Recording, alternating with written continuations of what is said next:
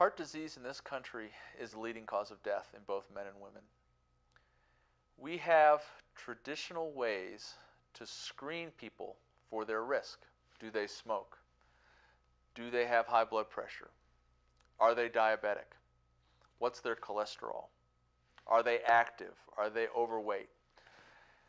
Despite that type of screening, about, and depending on the number, somewhere between 16 and 30 percent of people who have a heart attack have no risk. These are the people who say, It couldn't be me. I don't smoke, I exercise, I have a wonderful life. Heart disease is incredibly complicated.